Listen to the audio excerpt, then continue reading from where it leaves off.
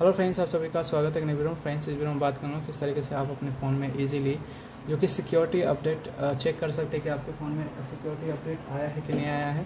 तो आज की वीडियो में यही सब बात करने वाला हूँ। तो आगे बढ़ने से पहले चैनल को पहले बनाए तो चैनल को सब्सक्राइब और वीडियो को लाइक कर दीजिएगा। साथ में घंटे का ऑप्शन आए तो उसे भी क्लिक कर दीजिएगा।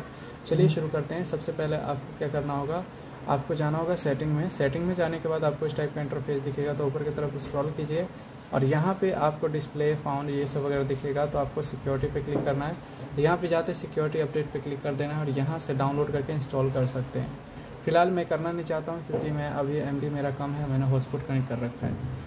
तो जैसे ही मेरे को अपडेट होगा बारह बजे के बाद मैं इसको डाउनलोड करके इंस्टॉल कर लूँगा। तो इंस्टॉल करना बहुत आसान है, इसको डाउनलोड कीजिए, बस एक बार क्लिक कर दीजिए इंस्टॉल पे और एक ही बार में इंस्टॉल हो जाएगा।